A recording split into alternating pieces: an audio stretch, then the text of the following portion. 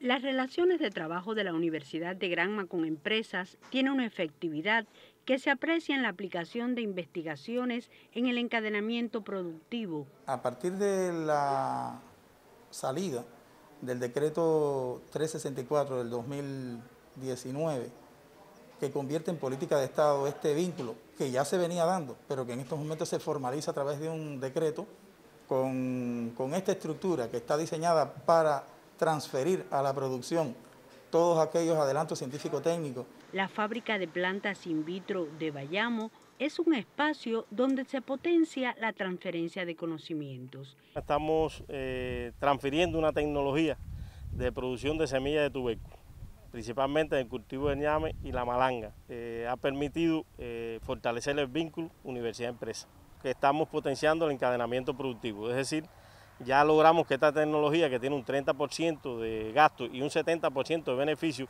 permite un incremento significativo en los volúmenes de semillas de tubérculos. En diferentes municipios granmenses se demuestra la efectividad de esta tecnología.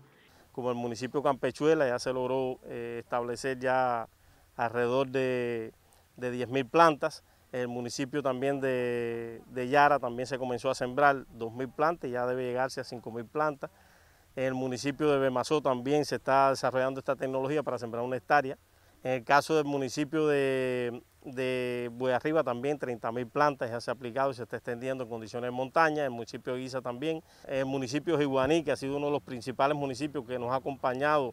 La permanencia de estudiantes en diversas actividades productivas es garantía ha habido un acompañamiento también de la universidad con un contingente de profesores y estudiantes que inició inicialmente por la Facultad de Ciencias Agropecuarias con las carreras de Ingeniería Forestal y Agronomía y que hoy ya se extiende a, a otras facultades. Son múltiples las ventajas del vínculo de la universidad con centros productivos. Buscar soluciones desde un pensamiento estratégico, aplicando con agilidad el conocimiento. Teresa Armesto en directo.